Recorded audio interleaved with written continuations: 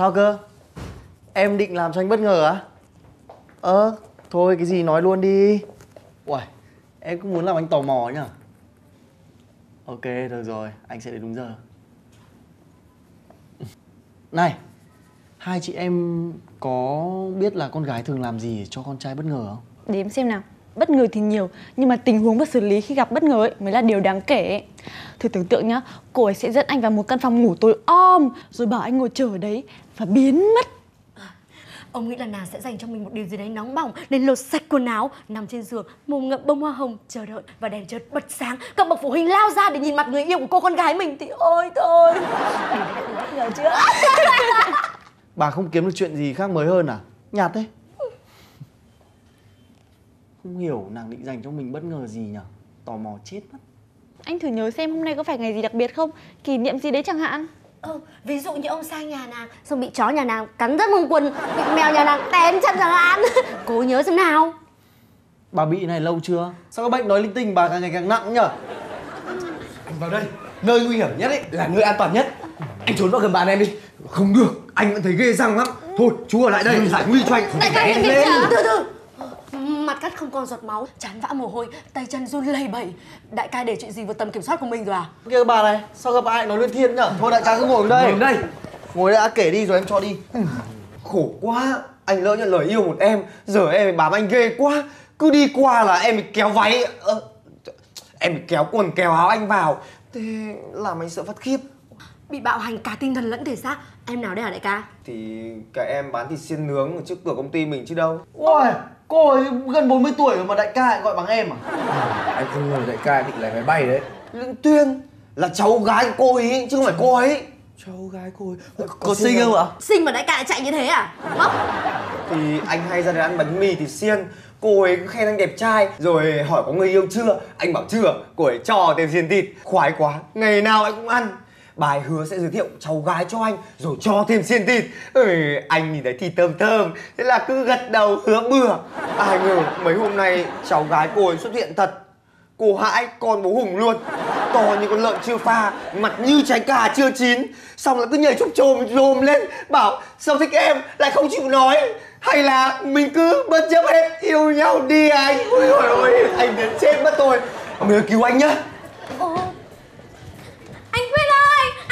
Em chào các anh các chị Anh Quyết có ở đây không ạ Thịt thì xiên Vâng Em là Thanh Thị thật đây ạ Chắc các anh các chị ăn bánh ở quán em rồi đúng không ừ, Mà anh Quyết có ở đây không ạ Ờ Ờ, anh Quyết vừa nhảy máy bay đi Sài Gòn rồi Nghe bảo là chuyển công tác hay sao ấy Em bắt máy bay đi còn kịp Cái gì ạ? Ừ, Sài Gòn à? Ừ. Mà vào đây thì mất bao nhiêu tiền hả chị? Ờ em ơi Cho anh hỏi ờ, một xiên thịt nhà em bán bao nhiêu 10 nghìn ạ Ê. ừ. Mà sao anh lại hỏi thế ạ? À em chỉ cần bán hết 500 xiên thịt Là đủ tiền mua vé máy bay vào thăm người yêu rồi. Vớ vẩn thật. Mấy hôm nay anh đấy qua ăn bánh mà có thấy nói gì đến việc đi vắng đâu. Làm em lấy trộm của dì em 40 xin thịt nướng Để đi mua vé xem ca nhạc tối nay. Bây giờ thì còn làm cái gì nữa? Nếu mà có chia tay thì cũng phải viết thư hay là nói gì chứ? Đằng này Thế mà nói với gì người ta là yêu người ta Là thích người ta Anh mất em như trâu Sâu hơn cả gâu. Đúng là làm nghề nào ăn nghề đấy. Vừa cứu được đại ca lại cày được hai cái vé nữa. Ông Trương đi xem với tôi. Ui, ban nhạc cái giường Một đêm rock duy nhất với tựa đề Dương Tung. Này này này, ban nhạc này có cái em ca sĩ Kim Cương Mặt thì như cải lương, giọng nát như tương Mà hát rock thì lại hơi dễ thương. Ê, tượng rồi đấy. Ui, cho em đi Ôi ôi ôi, đi nhanh không? Hai chị em này cướp vé rồi. Đi lên đi Nghĩ gì? Thành bảo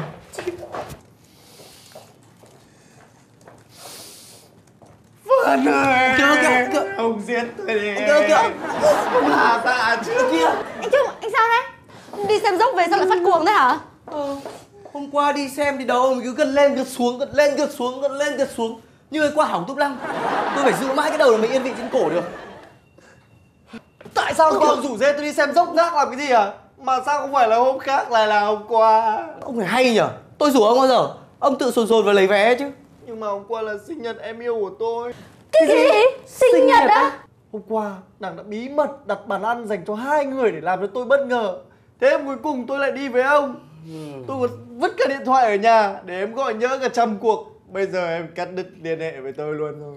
Ôi giời tưởng gì? Dứt thì thôi Nói với em khác là xong. Tôi có phải là ông đâu mà làm được những việc khốn nạn như thế? Ông có biết tôi mất cả tháng rồi để cưa cẩm em này Tốn bao nhiêu là tiền đi ăn, đi chơi, này, đi bơi, đi xem phim này. Em bây giờ bị đạp đánh uịch cái Lý do thì nhạt tuẹt Tôi không cam tâm. Cay lắm, đau lắm. Tóm lại, tất cả là tại ông. Xong lại đổ thừa tôi? Tất cả là tại hai cái vé từ tay đại ca. Ông nói cái gì? ừ, thôi anh ơi con gái người ta hay dỗi như thế. Nay mai xin lỗi là xong đấy mà. Cô gái của anh khác.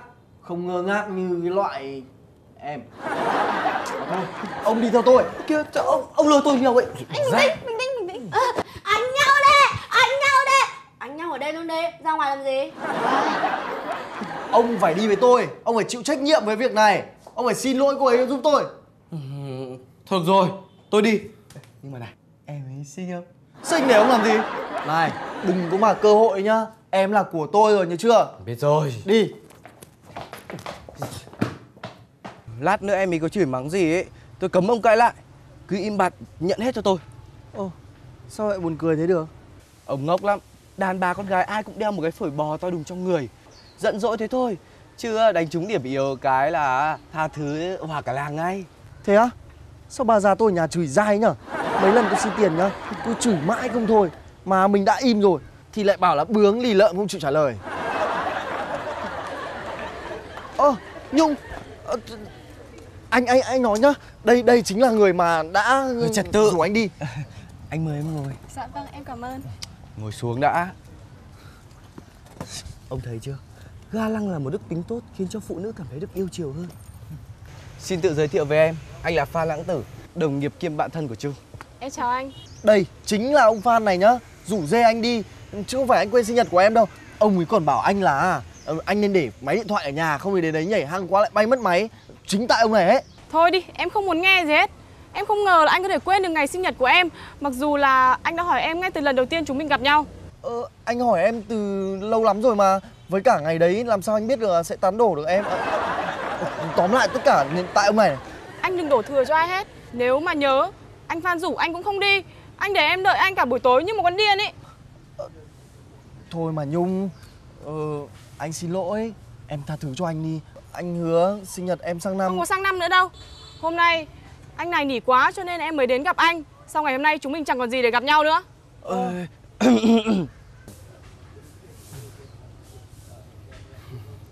Ờ, thôi được rồi, em cứ chửi anh cho nó hả lòng hả dạ đi, cho sướng mồm vào. Ờ, để anh gọi cho em một cốc nước chanh, em chửi cho nó ngọt giọng nhá.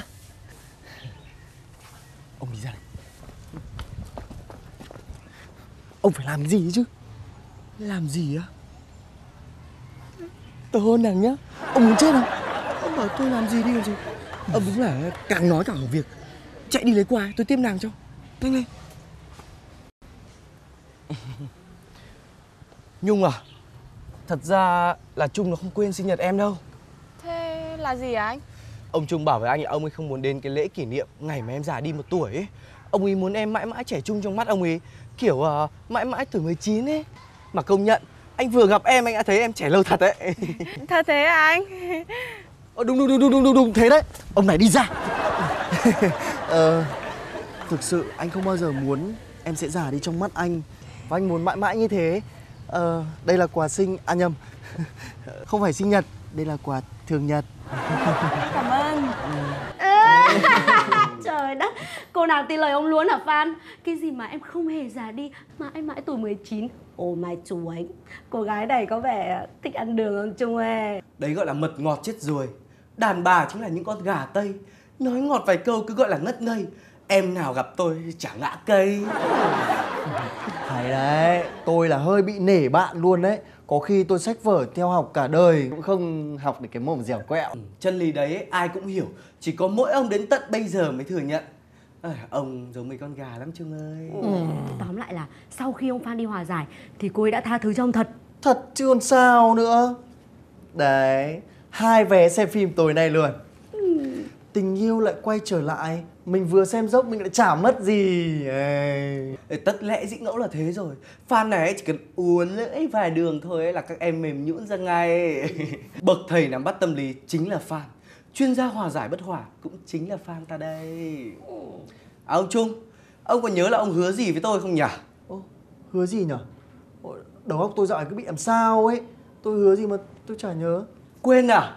Quên thì để tôi nhắc cho mà nhớ nhá. Ờ, phí hòa giải trăm ca. ê đùa bạn tí thôi đây của bạn đây thank you Ủa, có cả phí hòa giải á? Ôi, mình bốc phét có vài câu đã được 100 ca rồi này. Này bà ơi, tôi vừa nghĩ ra một cái nghề mới, đấy gọi là nghề hòa giải viên.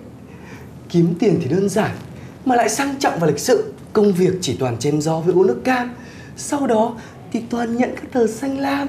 Bảo sao tôi không ham. Công nhận cái nghề này hay thật Tôi thích rồi đấy Nếu có cơ hội tôi sẽ thử Thử luôn ngay và đi chứ còn cái gì nữa.